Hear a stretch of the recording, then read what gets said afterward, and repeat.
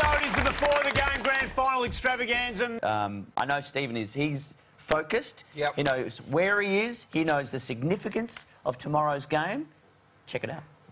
Um, yeah, well, it's you know the biggest game of the week, so Uh, Brian Lake, though, very chilled out uh, playing for the Hawks, Yeah. and he uh, told us during the week just how chilled out he was.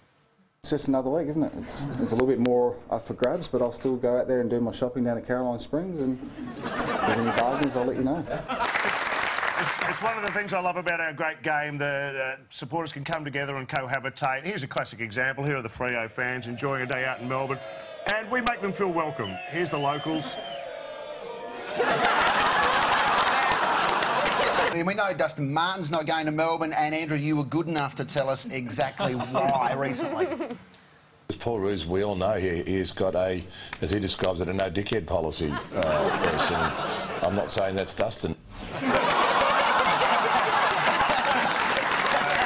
You know, I was kind of hoping Dane Swan would win it though, because I was watching him closely throughout the evening, and that would have been one of the best speeches of all time. Had he got up, I'm going to show you a little example of a Dane in action. This is all from round 23. Have a look at this. Round 23. This is this is the last round. Have a look at how many sips he has. Bang! Here we go. Number three. Not done yet. This one is a chance to win. Here we go. Have another one. There you go. Look at the other two sitting there, po faced. Not me. I'm going to have another crack at this. Jobe Watson, but no one loves you more than your coach. Well, he'll be your coach again another year. But who, James he loves you the most. Here's James talking about you. You meet Jobe Watson, you, you, you automatically just go, wow, what, what a person. Um, he's got great charisma, great character, engaging, hard-working, um, and, a, and a great heart. So he's one of the best people you'll meet. I mean, that was an amazing, uh, was amazing uh, little. that was great. No worry about that. but um, we've got some exclusive footage here, which is he actually took it further. This is amazing, and you need to explain this. Let's have a look at this in the rooms. I mean. we need to know. We need to know. Did, did you say yes? you know, you are you were voted by the players as the hardest man and the toughest man in the competition, and it was nice to see you answer some questions about the weekend uh, during uh, the week. Yeah, I mean, we'll go away and we haven't had time to obviously look over how we finished up and went out. So, um, but yeah, we've got to play better footy probably come the end of the year. I mean, you look great, don't get me wrong, but you'd ever look like this guy. Let's have a look at you, uh, Yoga, Jaga. Let's have a look at this. This is you after round one. Channel 7 cameraman really knew where the action was. And um, watch this. This is the bit I like. Here we go. Um, have a look at that, ladies.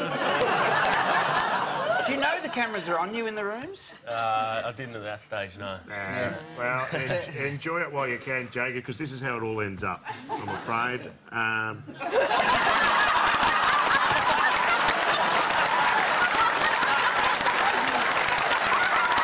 it's a transformation. It's a transformation.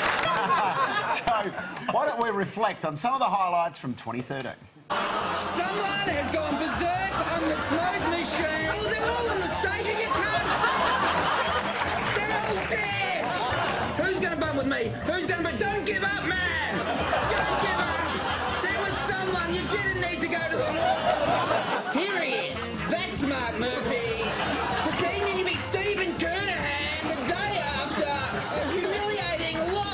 From our point of view, it's full steam ahead.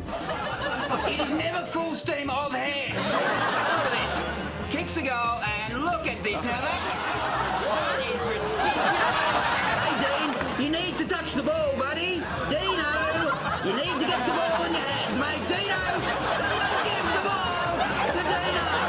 Firstly, probably get the golf handicap down. I think that's my number one plan. Secondly, I'm going to spend a little bit of time with the family. With, Three kids under four, and he wants to get down. Good luck with that, Embers. There can only be one winner, and uh, this man, he stands tall, he stands proud. He does a lot of work for the community, no one can deny that. But this is the moment that earned him this massive honour. You just see so many people coming together, and football is what brings them together. As I said, there'll be spot fires always in professional sport, but the main thing is that there is this great uh, camaraderie between everyone involved in AFL football. Great camaraderie, bringing people together. Let's have a look at Eddie in action out there. Have a look at this. He's this little kid in the blue. Blues wants it. No, no, no. You're not getting a kick. You're not getting a kick. And I love to spirit of this kid. Listen to this exchange. Who are you voting for? No, you're not going to pick.